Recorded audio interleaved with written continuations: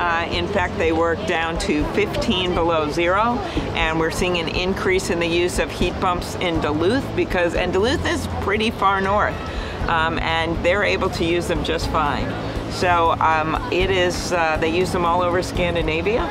Um, they're pretty smart and they understand that we can actually um, bring costs down if we use heat pumps no matter how cold it is. So I think we can uh, handle heat pumps in Minnesota just fine.